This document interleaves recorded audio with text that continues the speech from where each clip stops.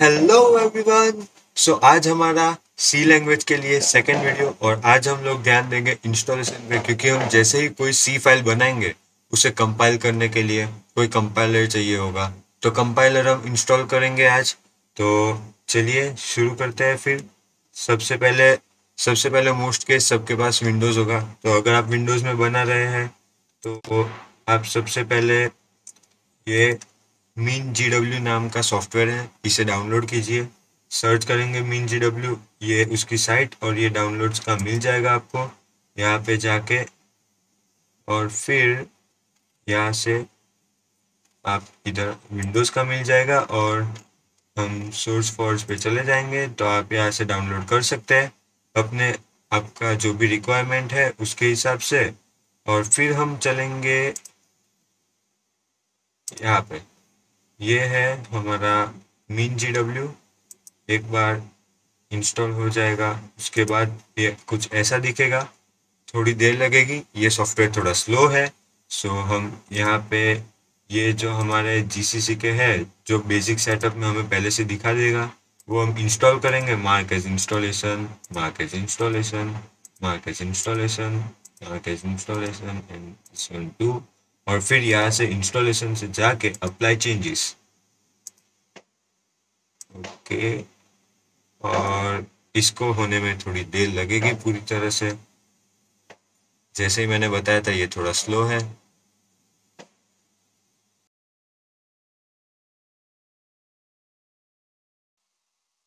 Okay so ये install हो चुका है।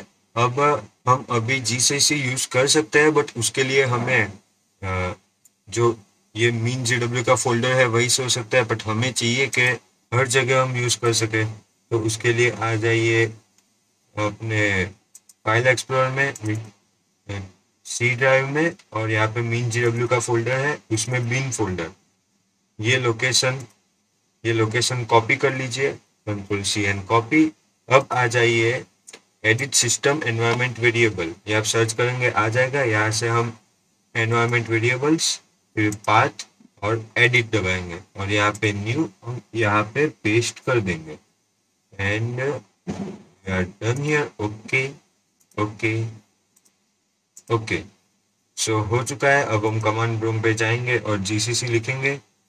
तो देखिए, ये, यहाँ पे हमने कोई इनपुट फ़ाइल नहीं दिया इसलिए बता रहा है नो इनपुट फ़ाइल अगर जीसीसी इंस्टॉल नहीं होता तो दिखाता है जीसीसी और is not recognised as internal external command जो यहाँ पे नहीं दिखा रहा है मतलब जीसीसी ये रिकॉग्नाइज करता है जीसीसी इंस्टॉल हो चुका है। अब ये हो गई विंडोज़ के लिए बात। अब मोस्टली जो लोग होंगे या फिर मैं प्रीफर करता हूँ लिनक्स लिनक्स में लिनक्स में इसमें प्रीफर करूँगा सी के लिए ज़्यादातर तो मैं लॉगिन कर लेता हूँ। Okay, so on our Linux we will go to the terminal and as जैसे ही हमने लिनक्स के लेक्चर में देखा था कि हम कैसे इंस्टॉल कर सकते हैं लिनक्स में, वैसे ही हम करेंगे। हमें पता ही है कैसे करना है। sudo apt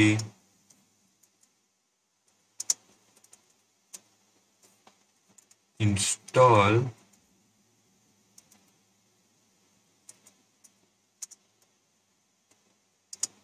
gcc and put and done it's installed. Okay so अब ये लिनक्स में भी जीसीसी इंस्टॉल हो चुका है। अगर आप अपने फ़ोन पे आपके पास विंडोज़ या लिनक्स कोई भी नहीं है तो आप लोग प्ले स्टोर से मोबाइल से या फिर कोई भी सी कंपाइलर बहुत सारे हैं, वो को इंस्टॉल कर सकते हैं।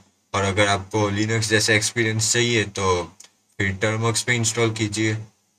और दैट्स इट सो हमने कैसे इंस्टॉल करना है जीसीसी को वो देख लिया है। अब हम अगले लेक्चर से सी पे आएँगे।